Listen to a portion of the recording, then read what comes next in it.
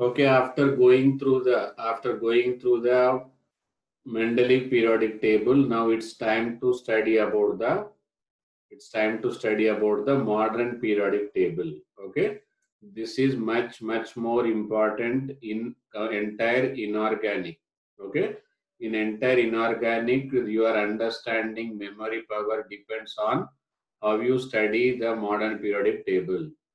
So try to be very attentive. Each and every point is to be noted so that in future, in uh, complete 11th class and complete 12th class, in future, anywhere inorganic, you are going to study, that will be entirely depends on this topic only. Okay, the more strong is this topic, the better you will understand the inorganic. Okay, so here periodic table, modern periodic table like every periodic table, Mendeleev periodic table is based upon Mendeleev periodic table is based upon the Mendeleev periodic law. Okay, so same way modern periodic table is also based upon the modern periodic law.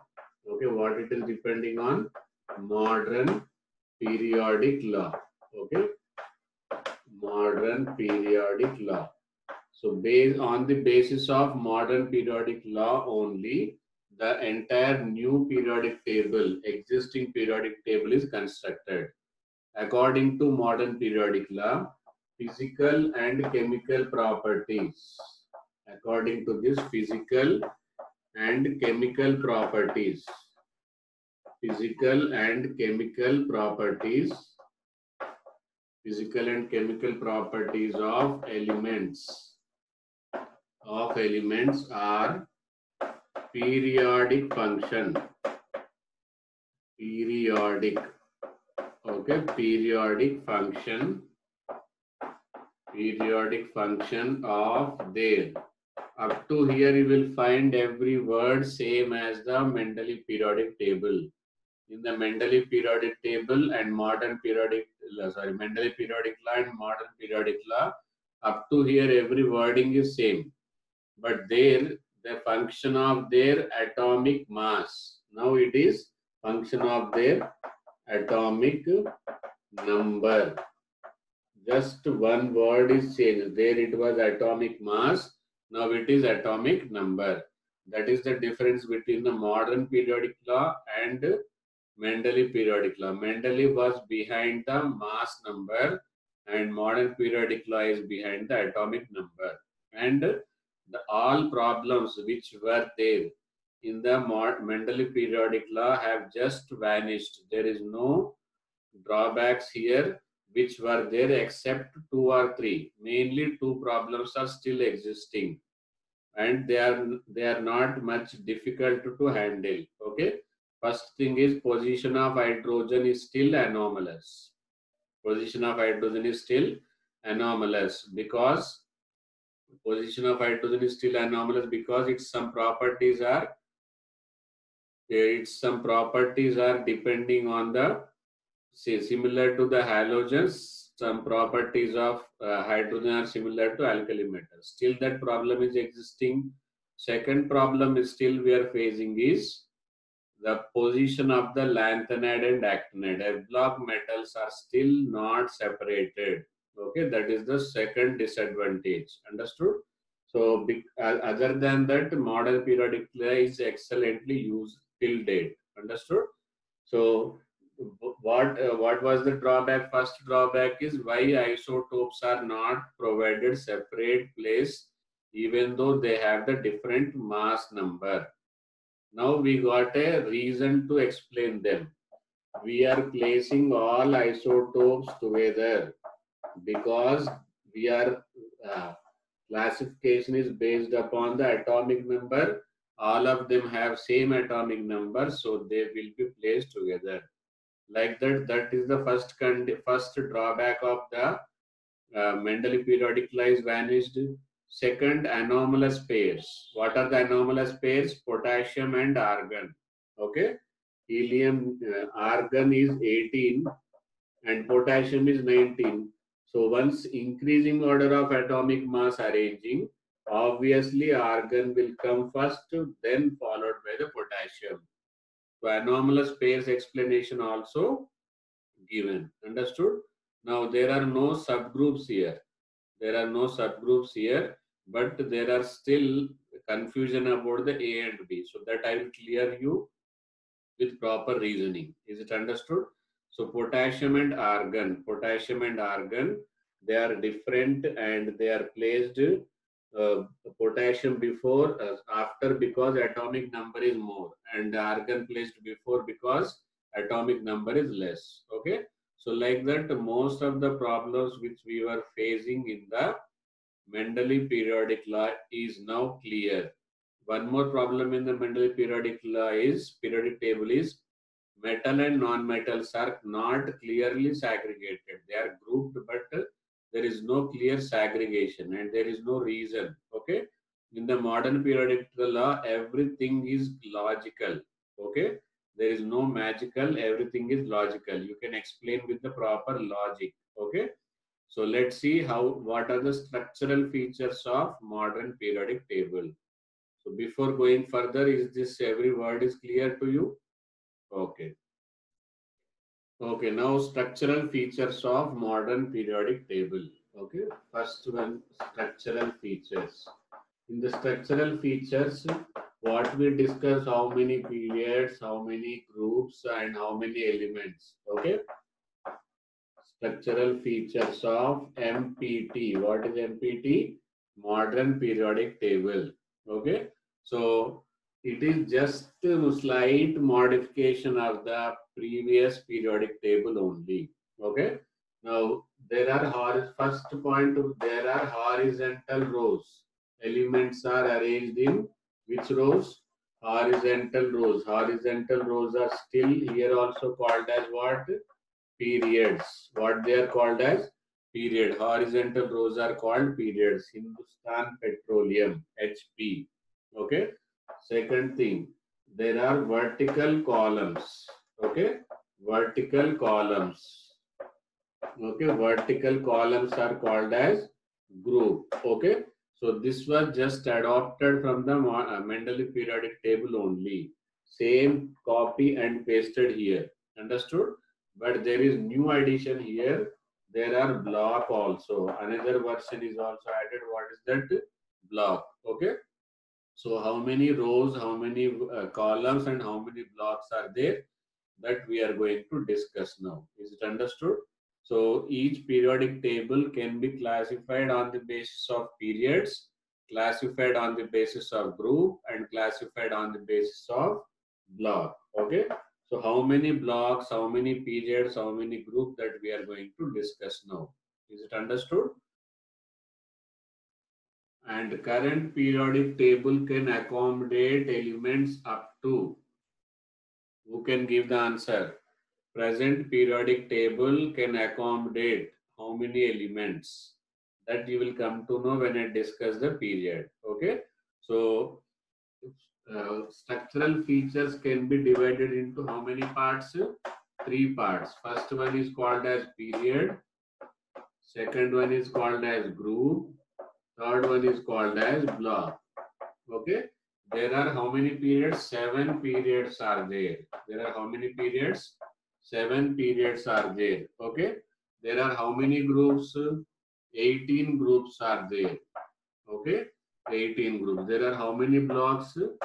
Four blocks are there. Currently, there are four blocks and there can be increased up to. There can be increased up to five blocks also if some more elements are discovered. Okay. So there will be how many blocks? Four blocks, 18 groups and seven periods. Okay. Is it understood? This is the classification. Now we will discuss about the period classification. How they are classified and what is the capacity of each and every period and why the capacity is limited to only that number with proper explanation. Okay, so make note like this so that you can understand and memorize this inorganic very easily. Okay, so let's start with first topic. What is that?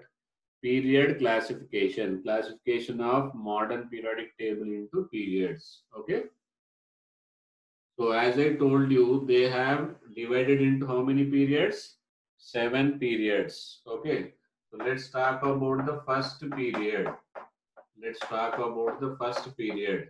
If you properly understand the logic behind the number of elements in each and every period, for first to four periods, if you understand, rest three periods you can write on your own. Okay. The first period contains only two elements. First two period contains how many elements? Only two elements. And this is called as a shortest period. What is it is called as? Shortest period. Okay. Now question will be there. Why only two elements? Why not more than this? Why not less than this? For the two elements, reason is first period principal quantum number will be 1. Each and every period is constituting one quantum number. Which quantum number? Principal quantum number. That is the reason behind he took the atomic number as a main part. Main part he took what? Atomic number as a main part because electronic configuration. Electronic configuration will decide the chemical properties. Okay. So first period only 1s will be available. 1s capacity is how many electrons? 2 electrons. So number of electron capacity is equal to number of elements. Okay. So 1s1, one element, 1s2, second element. If you know this logic, is it understood? Now let's see about the second period. Okay. Second period consists of six elements. Second period consists of eight elements. How many elements? Eight elements. Okay. This is called as a short period. What it is called as? Short period. Okay. The name you will understand once you know all capacity. Okay. So eight elements is the eight elements is the capacity of uh, second period. Why it is just now see second element can consist of 2s and 2p. So 2s capacity is 2 electron, 2p capacity is 6 electron, therefore 8 electron. Okay. Therefore 8 electron, there will be how many elements? 8 elements. Is the logic understood? Why second period consists only 8 element? Any doubt in that you can clearly ask. Okay. Now after this third period, let us discuss about the third period. So I told you after understanding four periods only you will know the correct. So if you are hurried to answer this, you will answer as a 18 because you are missing something in the atomic structure electronic configuration. Okay. So third period consists of still eight elements only. How many elements only? Eight elements only. Why? Because third period should consist of actually 3s, 3p and 3d should be there. It should be 18 or not. But still why it is consisting 8 elements? Is there anybody who knows the serious fact, top secret fact behind this? See, we cannot count here this because 3D is not eligible to add electron. We will add electron 3D only after 4s. So once we cannot add electron, we cannot count it here. 3D turn will come only after 4s. According to which rule? According to Bohr's-Bury rule, he said that you will fill up 4s first, then you will think about the 3D because 3D n plus L value is higher than 4s. So we cannot count here. So 2 plus 6, this will be 8 elements. Is it understood? So once it is also 8 element, it is also 8 elements. Therefore, this name should not be given something different. Therefore, this is also called as what? Short period. Second and third period are called as short period contains 8 element. What is the reason behind 8 element? Is this clear to all of you? Okay, very nice. Okay, next will be fourth period. Next will be what? Fourth period. Fourth period consists of fourth period in uh, consists of 18 elements. How many elements? 18 elements. This is called as a long period. What period? Long period. The name of the name of fourth period is a long period. It consists of 18 elements. What is the logic behind this? Fourth period, 4S. After that, according to Bohr-Bury rule, we will fill up 3D. Then we will fill up 4P. Then we will not fill up 4D. That term will come after after 5S. So we will not count over here. So here 2 plus 10 plus 6 is equal to 18 electron. So 18 electron means 18 is the capacity. 18 is the capacity. Is understood? Now let's see about the fifth period. Let's see about which period? Fifth period. Fifth period also contains 18 elements only. There is no increment in the number of elements. Even though we switched up to the higher period, still number of elements are here because 5s, 4d, 5p. So same way 2 plus 10 plus 6, this is also giving you how many? 18 electrons. How many electrons? 18 electrons, therefore 18 elements. As 18 elements are there, this is also called as long period. What period? Long period. Is this understood to all of you? Now the comes the longest period of the periodic table as per current. Tomorrow what happens? Don't know. Tomorrow this may be, this may not be the longest period. Okay. As of now, the longest period is which one? Sixth period. Okay. There is no period which could not break the records of sixth period. Okay. Sixth period is consisting of 30. Sixth period is consisting of 32. Okay. 32 elements. Now, why 32? Why this number? Everything, every uh, you can predict your future of the periodic table also. The secret behind the future generation is knowing the current reason. Presently, what is there, what is the reason, if you know, then what will happen in future, you can estimate. Okay. This is called as the longest period. What period? Longest period. Okay. So longest period is 32 elements now, why it is uh, sixth period? So, what we will do? 6s. Okay. After 6s, what we will do, you know, we will fill up some sample electron in 5D. Then we will go for the 4F. Then we will fill up completely. Then we will come back to the 5D. Okay. Then we will fill up the 6P. So 2 plus 10 plus 14 plus 6 equal to 3 to 32. Okay. So 32 electrons are there. Therefore, 32 elements will be filled. Is this understood? Now, let's come to the last period of the periodic table. Okay. Last period of the periodic table is what? Seventh period is the last period of the periodic table. Okay. So this will also contain, this will also will contain how many? 32 electron elements only. 32 how many elements only.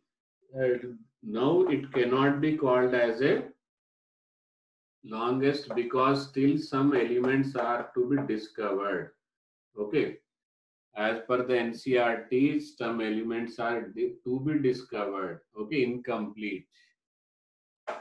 It is incomplete. Okay. Now here reason is 7s, then uh, 6d, 1 or 2 electron, then 5f, then will be 7, 7p. Okay. Same 2 plus 10 plus 14 plus 6 it is also 32 electrons. Okay? So this is what this is what we are having. If you study and leave it from up to here only you cannot be an IITian you cannot be a doctor from the AIIMS tag. Okay? Because you are learning what is given. If you are innovative if you are successful in future thinking, then you are eligible to be a doctor from AIIMS or IITian tag. Okay. For that, the question will be, what will be the capacity of eighth period? Eighth period is not still opened. Okay. But if it is opened, what can be the capacity of eighth period? Let's see how many of you are eligible to be an IITian tag. So what is the question? If eighth period, if eighth period is opened, okay, is opened, what will be its capacity? Question is, what will be its capacity? What city capacity? Okay. What will be its capacity? Will be answered in the next lecture. Will be answered in the next lecture with proper reasoning. Okay. So this is a top secret for the till next lecture. Okay. So now we will continue according to the seven periods only. Okay. Now this is the first, second, third, fourth, fifth, sixth, seven. Seven periods are there. Seven periods are there. Okay. Seven periods are there. First period will be two. Second period will be eight. Third period will be eight. Fourth period will be 18. Fifth period will be 18. Sixth period will be 32. Seventh period will be 32. Okay. So this total, if you add, you will get 118. That means current periodic table can accommodate. Current periodic table can accommodate how many elements? 118 elements only. How many elements? 118 elements. Okay as I am expecting from you all to be future scientists and discover more and more new element, that time we will start with a new table period, new period. Okay. So that period, how much and how why it is that we will come to know. Okay. So currently why it is 118 is it understood? Now it will be better as a smart study. I am telling you technique. Okay so up to here, the inert gas, okay, what is Ig? Ig means inert gas, okay.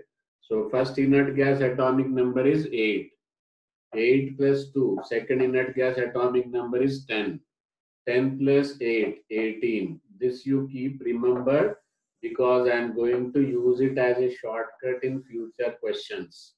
Many questions can be solved in fraction of second with this technique technique I am giving you now, but questions you will get it afterwards. Okay.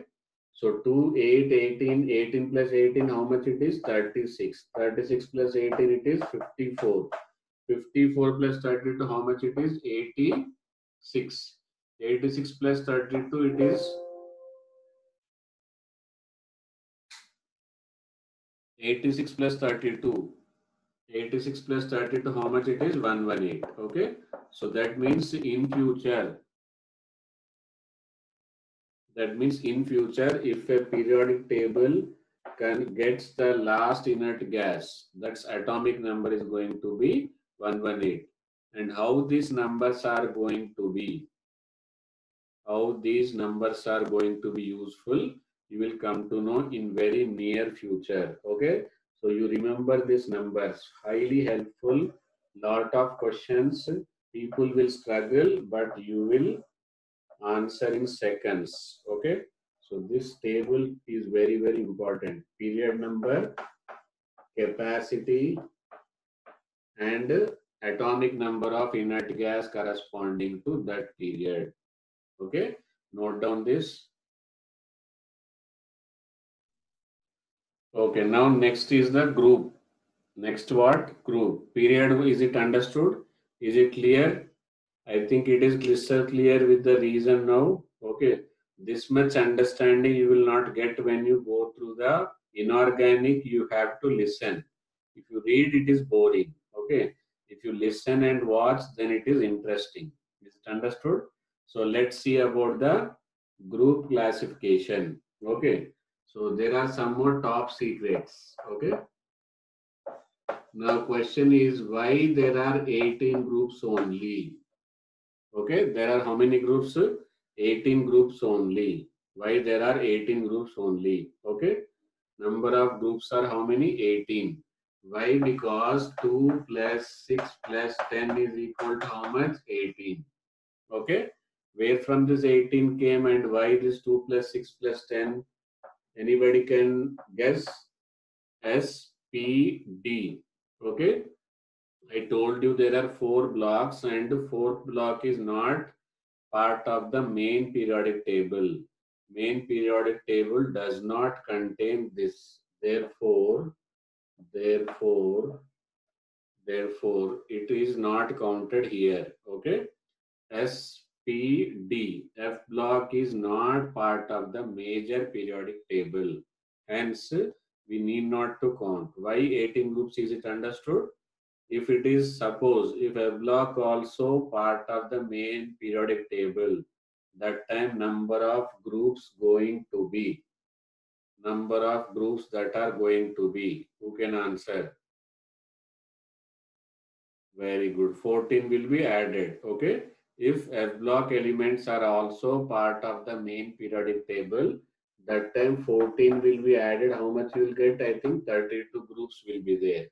But a block is not main part. It is consisting only 18 groups. Okay? So 18 groups classification is okay. But main problem is with the 18 group will be there are two types of numbering. 1 to 18 is okay earlier earlier problem. Okay what is earlier problem? 1a 1a to 6th a is six groups. Okay then 1b to 8th b. So here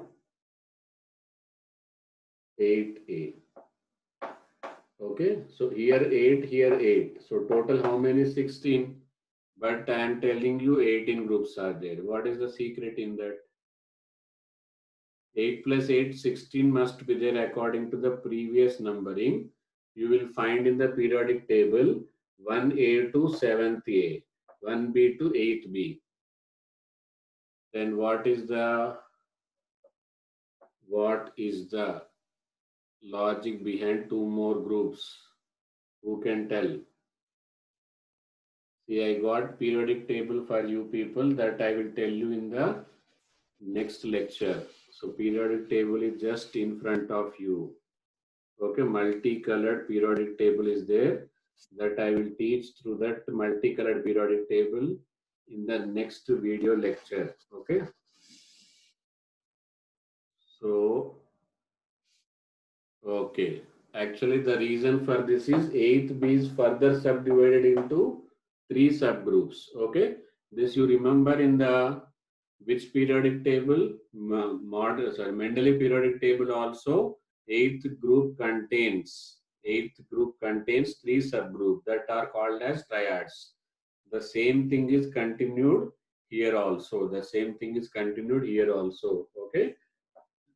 Eighth b eighth b is further divided into how many parts three parts okay what is that part one part two part three is it understood uh, eighth b is consists of total how many elements nine elements, three triads. Okay. So because of that, that two extra will be there. So total we will make it as a 18 group. Is it understood? Now who can tell the reason why A and B, why this is used? What is the reason behind 1A and 1B? Why is it necessary to separate them as A and B? Is there any significance of A and B? Now currently we are using the most simplest numbering, but questions will be from this. Okay, very nice. A shows that electron is from the valency shell. Last electron will go to the which shell? Valence shell. Electron is entering into which shell? Valence shell. But uh, B represents that electron enters into penultimate shell. Which shell? penultimate shell. What is penultimate shell? If uh, electron enters into the n shell. Last shell is n. Then it is called as a valency shell. n minus 1 is called as a penultimate shell. There is one more shell. What is that called as? n minus 2. It is called as a anti-penultimate shell. Okay, anti-penultimate shell. But as of now, the electron is not entering into the anti-penultimate shell. So you don't worry about that. Okay. So anti-penultimate shell is not required now because F block elements will electron enters into anti-penultimate shell. Which shell? Electron of the F block will enter into the anti-penultimate shell. Is this understood? Group classification 1 to 18 in the as per IUPAC. As per IUPAC numbering 1B 1 to 18. But as per the but as per the previous numbering it is 1A to 8A then 1B to 8B 8B is further subdivided into how many parts three subparts. How many parts? Three subparts.